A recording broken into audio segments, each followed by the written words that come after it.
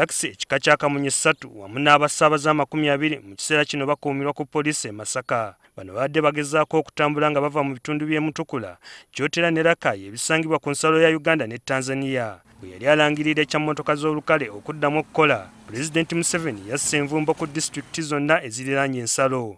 Rdc w'e masaka haman sentongo aduumidde ekikwekweto kino atubuulidde nti baddereeva ba takisi zino basobodde okwemulibwa ku poliisi ne babomba naye nga basigazza abasaabaze nga kati bagenda kubassa mu kalantiini.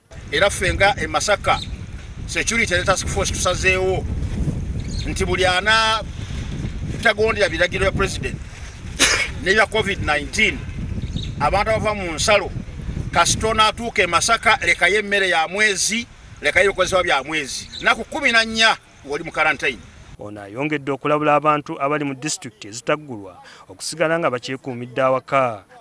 Tewali nsonga ekutambuza olwaleero ng'obulwadde busaasaanye tewali nsonga ekutambuza ne famire yonna. Abaana bonna bonna bwana buto tebulina masiki bapakidde mu kamunyemu bonna bonna buli omu.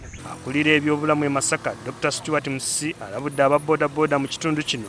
Bagamba nti beefudde bakiwagi ne basigala nga basaabaza abantu ekikontana n'amateeka aga covid-19 olusango oli bataddeko abasaabaze babiri. Kino abasecurity bakitegedde era operation egenda okuddako.